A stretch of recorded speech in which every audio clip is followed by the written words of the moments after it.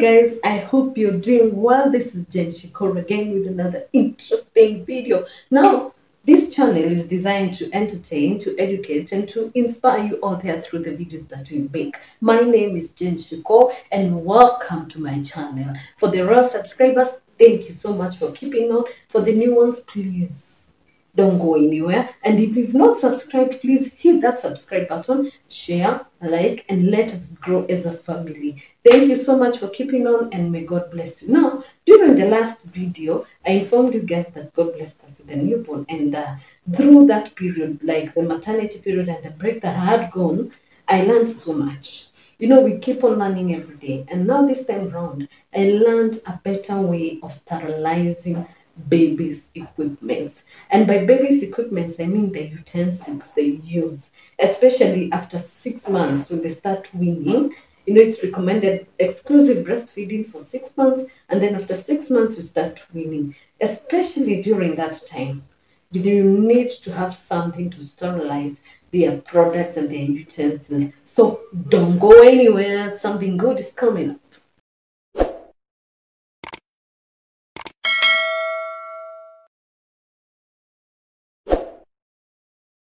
Welcome back. Now, as I've told you, I have learned sterilizing my baby's equipment. And uh, it's very important, by the way. Let's go there.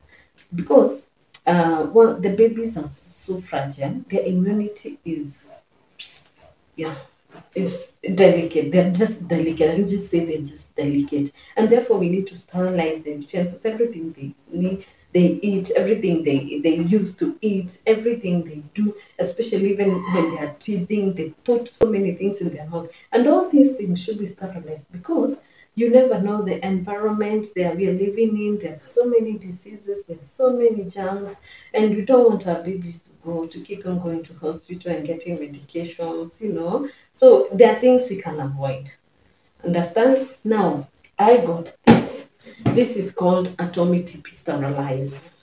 It is a microwave sterilizer, by the way, and uh, this is what I use and I've been using since I gave birth to my baby, and it's so effective, it's so friendly, and uh, I can just say it's just a deal. If you have this thing, it's just a deal. Now, I want us to share with you how to use it. Eh? This sterilizer comes in three parts. We have the first part, which is the cover. This is the cover. The cover.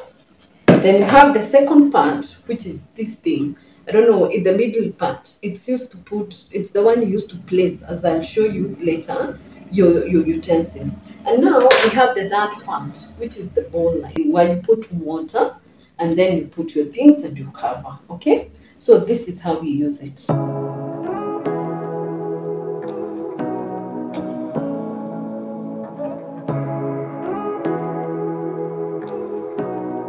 Welcome back. Now, as I've told you guys, this is the sterilizer, which comes in three parts again.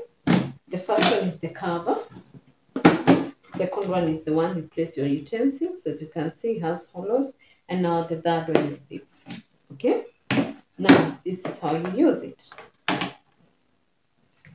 You first remove the cover, assuming, assuming you had already closed it, eh? like that. It's lockable like that. Then, here are the openings, like the locks, here and here. On this other side, this and this. Okay? You press them inside and you open it. So once you open it, you put 200 ml of water inside here inside here. This thing is hollow therefore the water is inside here. And then now you start placing your your utensils okay? Assuming like my baby has right now my baby has started cleaning i put the balls here. The feeding cup over there. The nipple the the nipple for breastfeeding over there as you can see. These ones over here like it can take so much. You just arrange your things as you would want. You understand? The feeding bottle as well. There.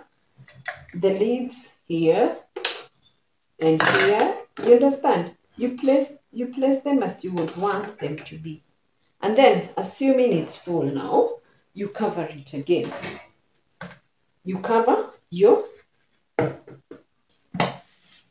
and we've covered it.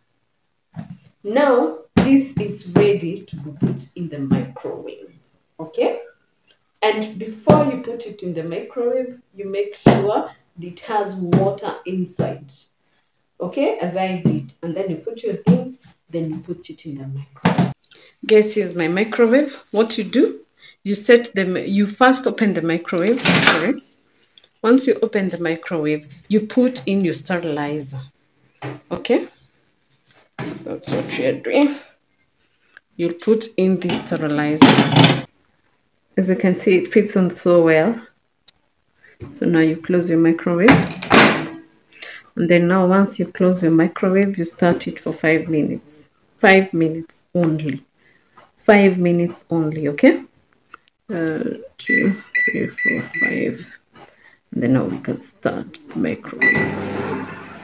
As you can see, I don't know whether you can see inside.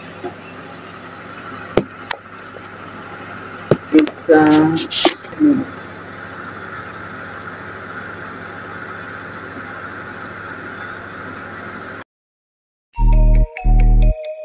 Now guys, as you can see, we're done.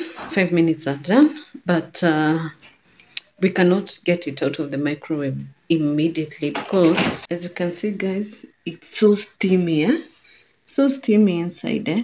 This thing is too hot that you cannot even, it's burning your fingers. Like it's not as hot as metal would be, but since this thing is not a good conductor of heat, but itself it's hot. We are getting it from the microwave again with your bare hands would be will not be good. So we keep it for five minutes in there, having opened our microwave. Leave the microwave open.